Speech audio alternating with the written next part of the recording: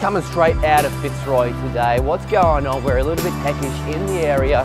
Gonna pop on in and see what all the fuss is about with Sir Charles. Fist bump.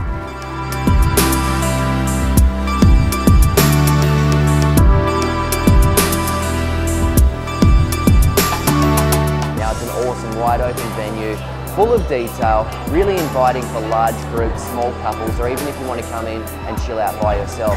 Whether you want to grab some sort of treat from the display cabinet if you're in a hurry or one of their tasty coffees, or enjoy the beautiful atmosphere.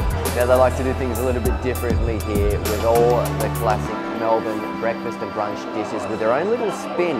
Right here in front, we've got their waffles, the Eton Mess waffle.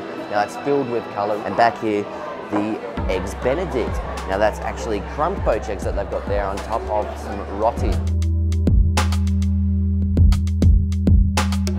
Now it almost seems like Sir Charles' version of the waffles here really reflects the colourful streets of Fitzroy. You need to come and give these guys a go. Coffee on point, food on point, and atmosphere on point.